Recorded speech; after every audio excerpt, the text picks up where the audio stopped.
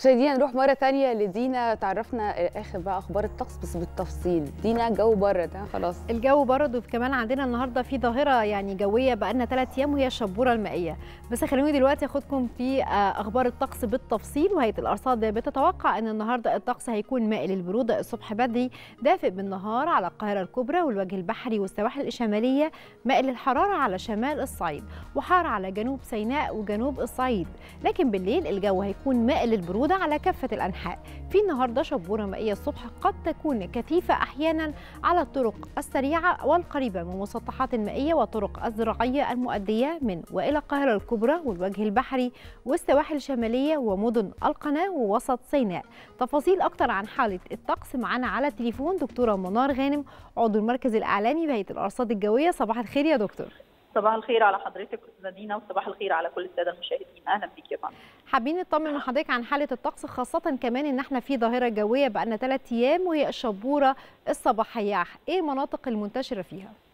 بالفعل إحنا مع حالات الاستقرار دايما في الأحوال الجوية بتكون الظاهرة الجوية المؤثرة بشكل كبير هو تكون الشبورة المائية.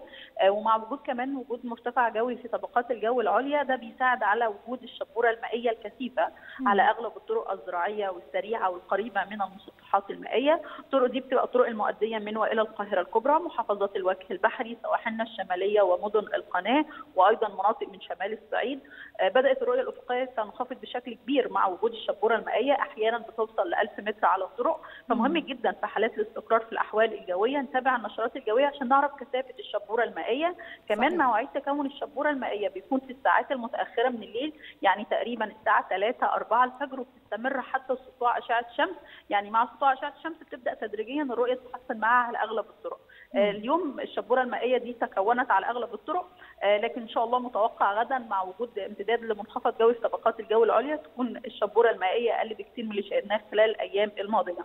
كمان اليوم مستمرين في الارتفاع الطفيف في درجات الحرارة خلال فترات النهار مم. تعتبر درجات الحرارة أعلى من المعدلات الطبيعية لها بحوالي درجة لدرجتين آه. الأجواء خلال فترة النهار خاصة مع سطوع أشعة الشمس هنحس بالدفء خلال فترة النهار على. أغلب المناطق الشمالية حتى القاهرة الكبرى وشمال الصعيد. أجواء حر على جنوب الصعيد وجنوب سيناء فترة النهار.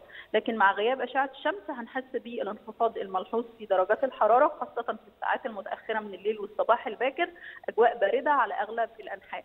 إن شاء الله بالنسبة آه، من بكرة بقى هل فعلا هيكون في انخفاض في درجات الحرارة ملحوظ؟ إن شاء الله هو متوقع من غدا هيكون الانخفاض طفيف في درجات الحرارة بحوالي درجتين. العظمى على القاهرة الكبرى هتكون- هتكون 22 درجة مئوية. الانخفاض الملحوظ هيكون من يوم الأربعاء إن شاء الله لأن العظمى هتوصل ل 20 درجة مئوية. مع يوم الأربعاء والخميس هتكون ما بين ال 19 وال 20 فالانخفاض الملحوظ والمحسوس أكتر هيكون من يوم الأربعاء وهيكمل معانا لنهايات الأسبوع خاصة كمان إن هيكون في نشاط يعني مع بداية فصل الشتاء يوم الأربعاء هيكون في انخفاض ملحوظ في درجات الحرارة. آه، بالفعل مع بداية فصل الشتاء هيكون في انخفاض ملحوظ في درجات الحرارة فترات النهار وفترات الليل. نشاط رياح هيخلينا نحس أكتر من انخفاض درجات الحرارة. بالإضافة كمان إن إحنا من غدا هيكون في فرص لسقوط الأمطار على المناطق الساحلية المطلة على البحر المتوسط ومناطق كمان من جنوب الوجه البحري. يعني الأمطار هتتقدم للمناطق الداخلية. وجود المنخفض الجوي في طبقات الجو العليا وأيضا على سطح البحر المتوسط هيساعد على تكاثر السحب المنخفضة والمتوسطة وهنحس بالأجواء الشتوية خلال الأيام القادمة بإذن الله. يعني خلاص كده من يوم الاربعاء بداية فصل الشتاء هنبدأ في انخفاض في درجات الحرارة. حضرتك تقولي العظمى هتكون تقريبا 20 درجة مئوية. هل هترجع مرة تانية في الارتفاع درجات طفيفة ولا خلاص بقى هنبدأ في الانخفاض بعد كده؟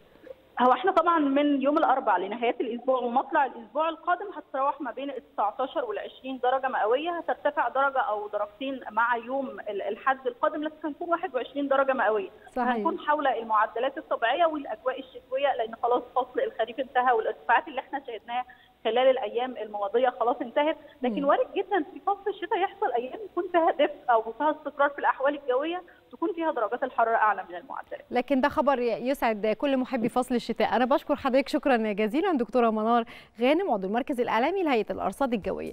دلوقتي خلونا نتابع مع حضراتكم درجات الحرارة المتوقعة النهارده هنبداها من القاهرة والعظمى 24 الصغرى 16 العاصمة الإدارية 24 16 إسكندرية 23 17 العلمين الجديدة 23 16 مطروح 21 17 دمياط 23 15 بورسعيد 23 16 الإسماعيلية 25 13 السويس 26 14 العريش 23 14 كاترين 19 4 طابة 24 16 حلايب 27 19 شلاتين 29 19 شرم الشيخ 26 18 الغردقة 27 17 الفيوم 24 14 بني سويف 24 13 الوادي الجديد 30 11 أسيوط 25 11 سوهاج 26 12 قنا 29 12 الأقصر 28 14 أسوان 30 15 طمنا حضراتكم عن حالة الطقس بأكد مرة تانية على إن في شبورة مائية في الساعات الأولى من الصباح. يا ريت كلنا نتوخى الحذر أثناء القيادة. وكمان نخلي بالنا إن في انخفاض ملحوظ في درجات الحرارة بدءا من يوم الأربعاء القادم بإذن الله. هيكون درجة الحرارة العظمى في القاهرة 20 فواضح إن الأجواء هتكون باردة في نهاية الأسبوع. هرجع مرة تانية لجمانة ومصطفى علشان نكمل معاكم فقرات صباح الخير يا مصر. اشكرك يا دينا شكرا جزيلا. دينا. شكرا.